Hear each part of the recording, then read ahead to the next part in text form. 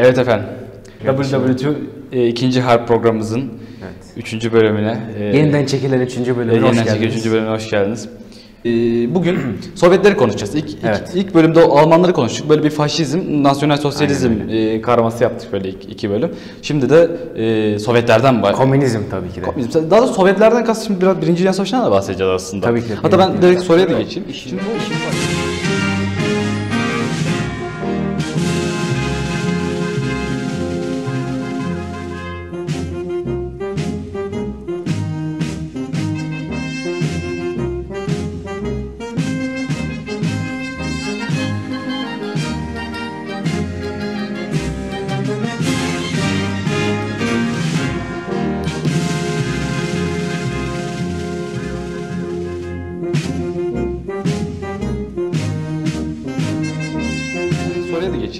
bu Geç. Cihan Harbi öncesindeki Sovyetleri konuşmaktan evvel bu Birinci Cihan Harbi'ndeki Rusya'nın genel durumunu biraz hızlıca özetlemeni istiyorum senden. Tamam, hızlıca. Ondan sonra bir şeye geçelim istiyorum. Ee, Stalin dönemi. Stalin, Lenin ve Stalin dönemine. O aradaki bir de devrimler dönemi var. Ondan da bir kısaca bahsetmeni istiyorum. Şimdi e, Rusya Cihan Harbi'nde ne durumdaydı? Hele hele ortalarında. Evet. Rusya aslında Cihan Harbi'nde e, iyi şekilde başlıyor. Özellikle Birinci Dünya Savaşı'nın başında Almanlara hızlı bir saldırı yapıyorlar. Normalde Almanlar e, kendilerinin de düşündüğü üzere Rusya'nın savaşa e, geç hazırlanacağını düşünüyor. Fakat e, Rusya beklenilen e, beklenilenden hızlı şekilde savaşa hazırlanıp Almanlara hızlı şekilde saldırıyordu. Fakat genel olarak Almanlar ile yaptıkları savaşlarda Doğu cephesi de yeniliyorlardı ve ciddi de kayıplar veriyorlardı. Bu tabii ki de hem ciddi ekonomik kayıp hem de ciddi askeri kayıp anlamına Bu geliyor. ana sanayi bölgeleri Tabii Rus ki. kaybediyor değil mi? Tabii Minsk'e kadar ilerliyorlardı yani Ukrayna'nın önemli bir kısmı. Ee, Rusya'nın özellikle batıdaki önemli toprakları gidiyordu ellerinden. Ve onun dışında çok ciddi bir kaynak açlığı çekmeye başlıyorlar savaşın ortalarına doğru. Ee, bunun yanında tabii ki de İngilizler ve Fransızlar Rusya'yı savaşta tutabilmek için yeni cepheler açmaları gerekiyor. Ve bu sebepten ötürü bize saldırıyorlar Osmanlı'ya.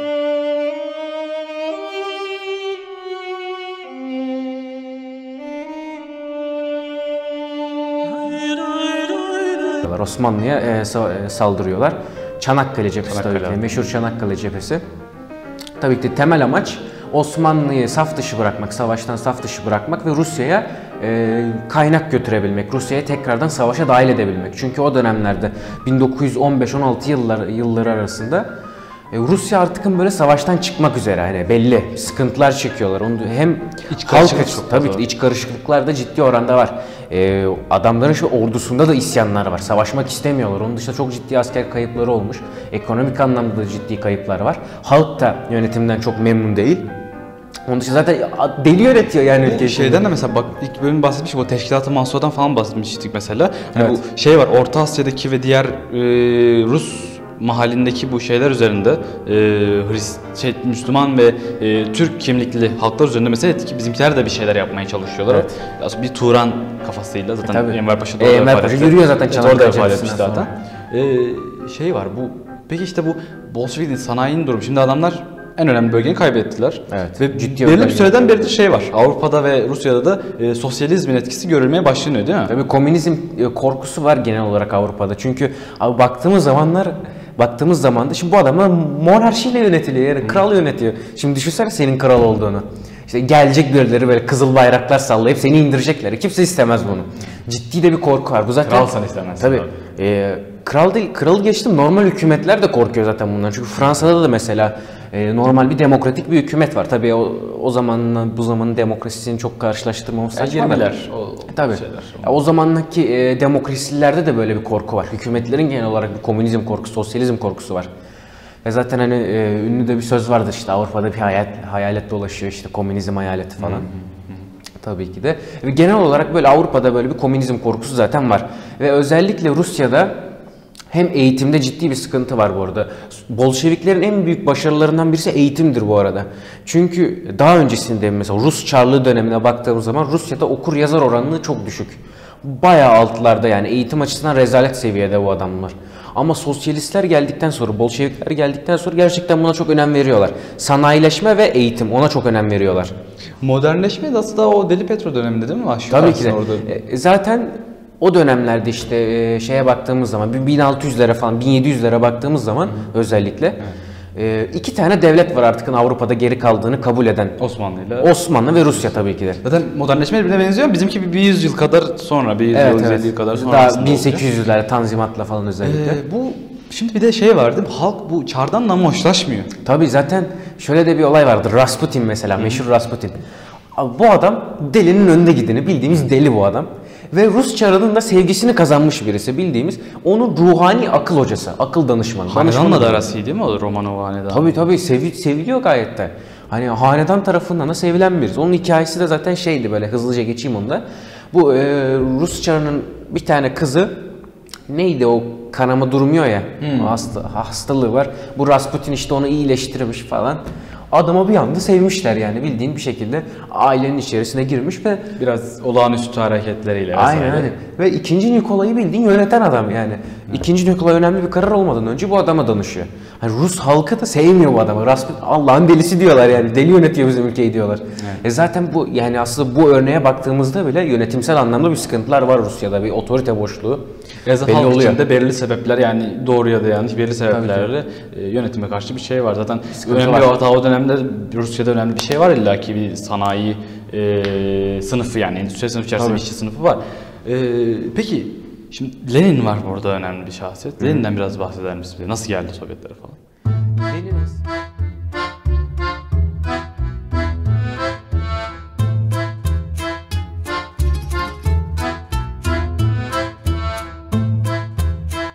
Lenin aslında doğrusu. e, öncesinde e, çoğu aslında sosyalistlerin olduğu bir yerde İsviçre'de kendisi. Ve önemli bir sosyalist kendisi özellikle Almanya yani Birinci Dünya Savaşı daha devam ederken Rusya işte yavaş yavaş yorulmaya başlamış falan. Daha da Rusya'nın içerisinde karışıklık çıkarmak için e, İsviçre'den Lenin'i Rusya'ya yolluyorlar. Ve bu sayede e, daha da karışıklık çıkaracağını düşünüyorlar Rusya'nın içerisinde ve bu başarılı oluyor. Lenin e, özellikle Rusya'ya gittiğinden sonra e, özellikle bu sosyalist kesimi topluyor ve Rusya'da ciddi iç karışıklıklar çıkmaya başlıyor. Zaten ondan önce de farklı gruplar var böyle cumhuriyetçiler falan da var e, Rus çarını devirmeye çalışan ve bunlar zaten başarılı oluyor. 1917'de ilk olarak bir Şubat devrimi var. 8 Mart 1917'de başlamış 16 Mart 1917'de bitmiş. Bu ilk Şubat devrimi aslında Cumhuriyetçiler çarı deviriyor. İşte Bolşevikler falan da tabii yardım ediyor. Fakat sonrasında bu e, Cumhuriyetçiler ve Bolşevikler anlaşmazlığa giriyor birazcık. Ve daha sonra Bolşevikler de Cumhuriyetçileri deviriyor. Çok kısa süre sonra Ekim devrimiyle. Daha sonra nasıl söyledi onları soracaktım ben devrimler süreci nasıl giriyor falan filan. Burada bu e, cumhuriyetçi kesime neydi onlara e, yok kralcılara beyaz diyorlar değil mi ya beyaz ordu diyorlar. Aynen o çar yanlılarına beyaz Çar. e, Ruslar diyorlardı. Zaten e, Bolşevikler e, Cumhuriyetçileri de devirdikten sonra zaten bu Rom- bütün Romanov hanedanlığını kesip biçiyorlar hepsini. Hiçbir tane insan bırakmıyorlar Romanov hanedanlığından e, kalan. Mesela Cumhuriyetçiler çok öyle yapmıyor. Cumhuriyetçiler adamları tam atıyor iktidardan da öldürmüyorlar. Fakat Bolşevikler gelince biraz kanlı şekilde iktidara geliyorlar yani o konuda.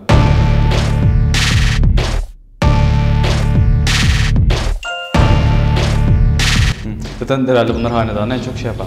Ee, şimdi hızlı ilerliyoruz biraz çünkü bu Sovyetler bölümü için çok geniş biraz zamanımız biraz kısıtlı çekim için de. Ee, şunu mesela sormak istiyorum. Bir de Stalin var. Lenin çok kısa zaman yaşadı. Kaça kadar? 1924'e kaça kadar? 1900 şu notlardan bakayım. Lenin e, 1924'te 21 Ocak 1924'te vefat etmiş kendisi. Ee, Ondan sonra Stalin geliyor. Stalin de çok ilginç bir adam. Gürcü aslında. Bize yakın da bir adam Gürcü. burada şeyde memleket bakımından. Kafkas adamı. Nasıl birisi? Nasıl çıkıyor buraya? Bu Şöyle aslında ilk baş bir Rus İç Savaşı'ndan da bahsedeyim hemen oraya. Olur. E, Bolşevikler e, Ekim devrimiyle işte başa geldikten sonra adamlar e, çok ciddi bir sıkıntı çıkıyor Rusya'nın içinde. E, Rus çarı yanlısı generaller isyan ediyorlar.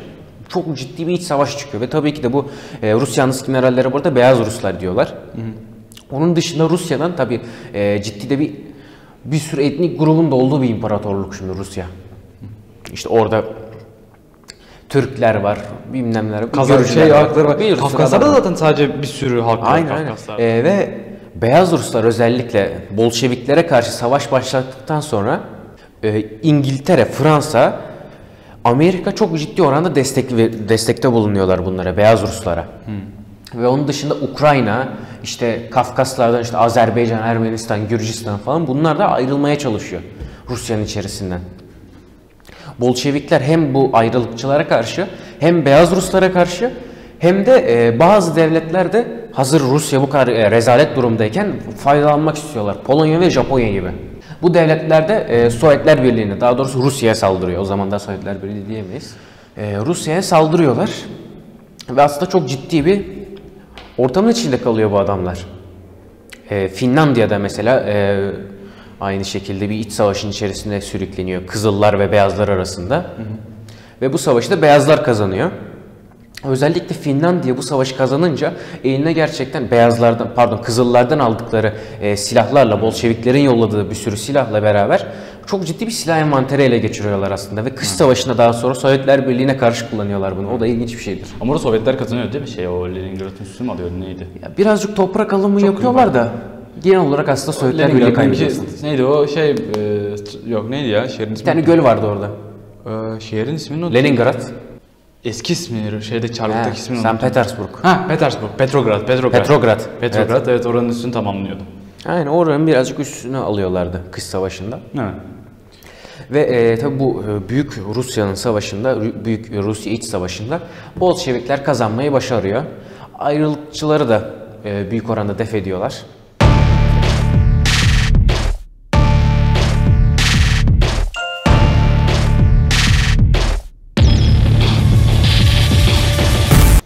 İşte Kafkaslara falan da iniyorlar yani bizim Batum'la anlaşmamız falan filan da var.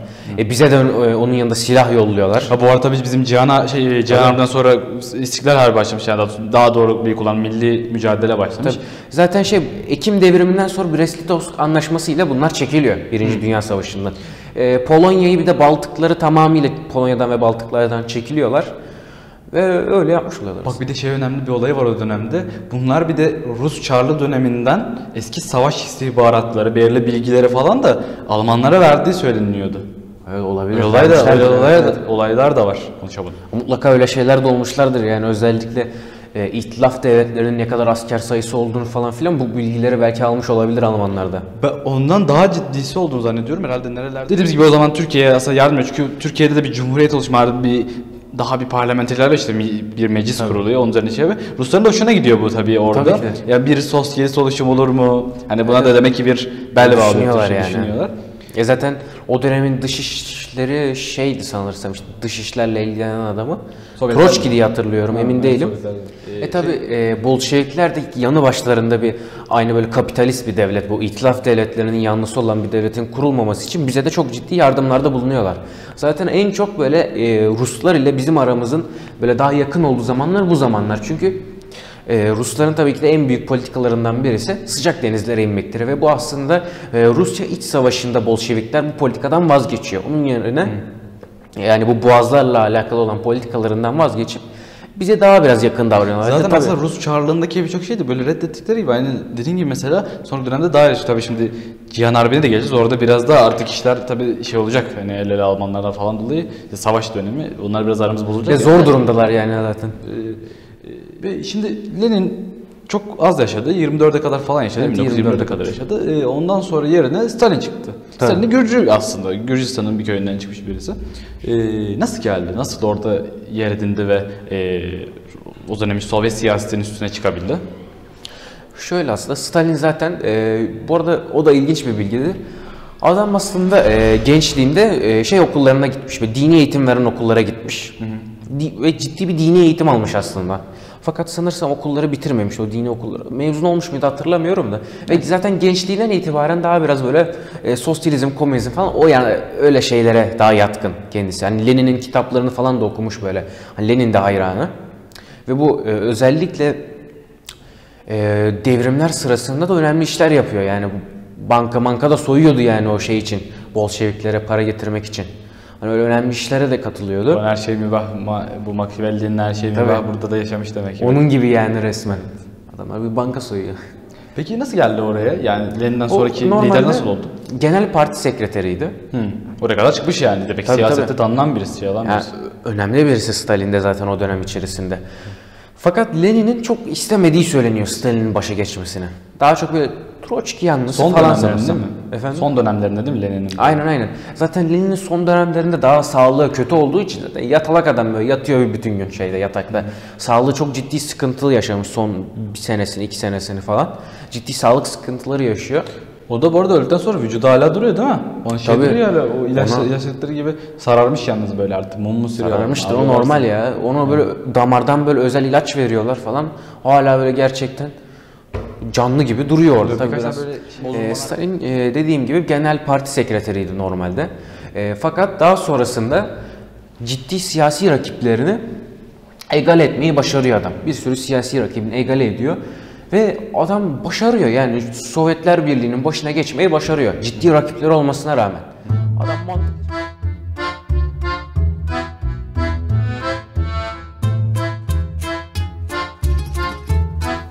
Büyük Sonra şey yapacak değil mi bunları yanından yani eee, biraz Hitler gibi hani o kendini daha öne çıkaran çevresindeki Tabii.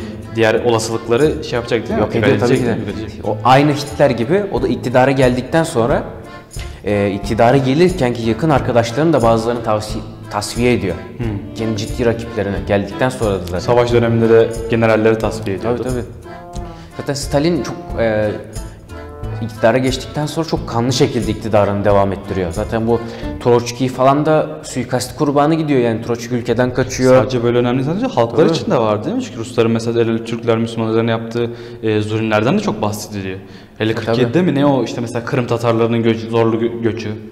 Evet evet. Ya zaten şey de bu Kafkas İslam Partisi'ydi sanırsam bu e, Sultan Galiyev mesela. Onun da fikirleri çok ilginçtir. Komünist bir Turan hayal ediyor kendisi.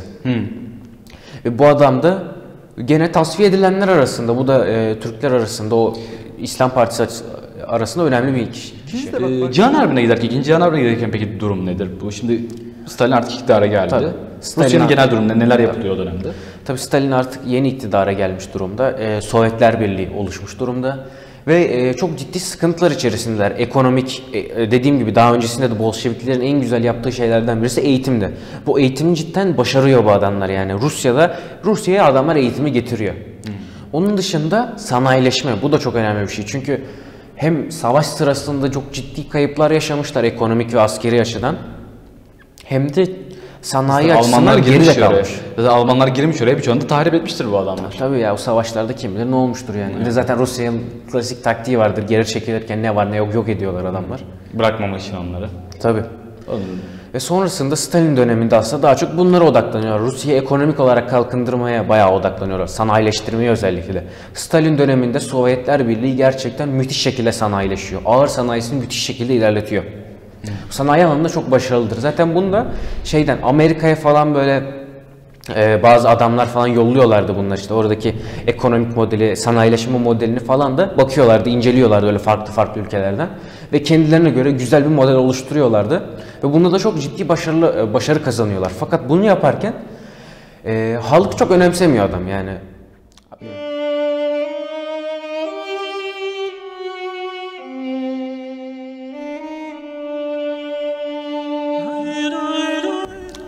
Aynı Machiavelli'nin de olduğu gibi. Yani ne yaparsan yap mübahtır yani meselesi. Gerçi artık iş oradan geçmiş artık da Ya bir de şey çünkü bu sanayileşirken gerçekten halkı fazla önemsemeden sanayileşiyorlar ve bir sürü insan açlıktan ölüyor. Orada işte tarım alanlarını sanayileştireyim falan filan. Bayağı e, bir de insan ölüyor. istihdam veriyor ama istihdam verdiği üstüne e, iyi maaş vermiyor. Zaten maaş Tabii, mantığı fabrikalar hepimizin mantığı da var. Yani yani bayağı açlıktan ciddi seviyede ölen insanlar var. Onun dışında zaten e, adam otoriter rejimiyle de ünlü birisi yani. Gerçekten kendisine karşı çıkan çoğu kişiyi kesip biçiyor yani. E, biz Türkleri falan da tabii zorunlu göçe zorluyorlar işte ne bileyim. E, bir sürü insanı Biraz zamanımız azaldı o yüzden biraz kusura bakma acele ediyorum. Ee, Burada mesela şeyden de bahsediyorum. Mesela şimdi bu komünist korkusu, sosyalist korkusu biraz Avrupa'daki şey de verir. Rusya'nın da geçmesini istemiyorlar. Bir yandan Rusya'nın etkisinde kendi içlerinde belli siyasi oluşumların e, ortaya çıkması, peyda olmasını istemiyor bu adamlar.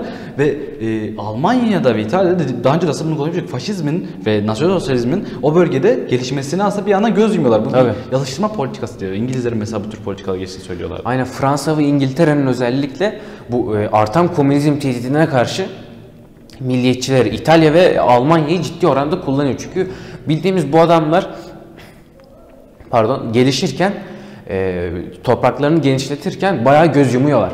Avusturya'ya. Gerçi Avusturya meselesi ayrıdır. Sonuçta iki tane halk. Aynı halk yani. Onların Orada birleşim- değil, Avusturya, Macaristan, Çekya, Hırvatistan Tabii. vesaire onda bayağı büyük orada bayağı bir karşılıklı var. Tabii ki de. Ya, o bizim dışında Çekoslovakya'da mesela ciddi bir göz yumuyorlar. Tabii.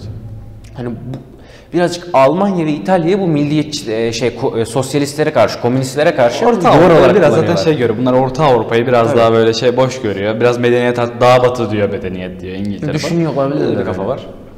Yani özellikle zaten bu e, Sovyetler Birliği'nde çok fazla adamlar şey yapmış. Dışlamışlar yani bildiğimiz. Çünkü Münih konferansı da Çekoslovakya'nın Almanya'ya işte Südetland bölgesine bırakıldığı konferansta da bu Çekoslovakya ko- konularının konuşulduğu konferansta da Sovyetler Birliği davet edilmiyor. Stalin davet edilmiyor ve Stalin bunu çok içerliyor aslında. Çünkü bildiğimiz adamları saymıyorlar, istemiyorlar yani. Bu Sovyetler de yine bir politika asıl geliştiriyor buna göre. yani bu e, Batı'nın e, uyguladığı Sovyetlere karşı uyguladığı bu politikalar daha çok Almanya ile yaklaştırıyor. E, zaten Molotov Paktı'nın da imzalanmasındaki en büyük sebeplerden birisi bu yani. Adamlar yalnız kalmış. E Şey de mesela bu 39'da artık mesela ilk zaten savaşın patlak verici de Polonya harbi var. Yani Almanlar Polonya'ya saldırıyorlar İHA için. Burada Sovyetlerle anlaşıyorlar değil mi? O nasıl Evet. oluşuyor mesela? O sa- savaşın artık son noktası zaten. Tabii. Molotov-Ribbentrop Paktı diye bir şey yapıyorlar ve beraber e, bir şey bir it- ittifaklık anlaşması zaten. Polonya'yı ikiye bölüyorlar aslında. Aynen öyle. Polonya'yı ortadan ikiye bölüyor bu adamlar. Ve zaten bu bütün dünya siyasetini alt üst ediyor. Ee, Amerika'da da zaten meşhur Forbes dergisi vardır. İşte yılın adamı falan filan seçiyorlar arada. Stalin o 1939'daydı yanlış hatırlamıyorsam. Bu e, Molotov-Ribbentrop paktı yüzünden şey seçiyor, yılın adamı seçiliyor. Çünkü bütün dünya siyasetini alt üst ediyor adam. Evet. Tabii bu Molotov Paktı bir resmen kanlı bir ittifak. Çünkü ikisi de birbirinden nefret eden kişilikler yani e, Hitler ve Stalin baktığımız zaman. Çünkü Hitler şey yani iktidara gelmeden önce de geldikten sonra da yaptığı açıklamalarla zaten Bolşeviklere ve Yahudilere karşı düşmanlığı açık olarak belli Zaten ediyor. Almanya'da sosyalizme karşı çok sert e, tepkiler de var o dönemde. Ya zaten savaşacakları belli bu adamların. Yaptıkları kanlı bir ittifak.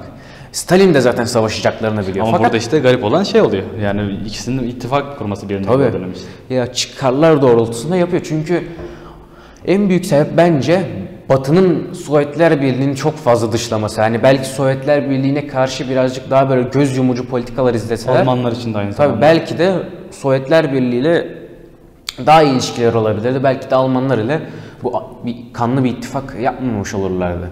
En azından işbirlikçi olabilir. Onun dışında şöyle de bir sıkıntı var Sovyetler Birliği'nde o dönemlerde ondan bahsetmedim.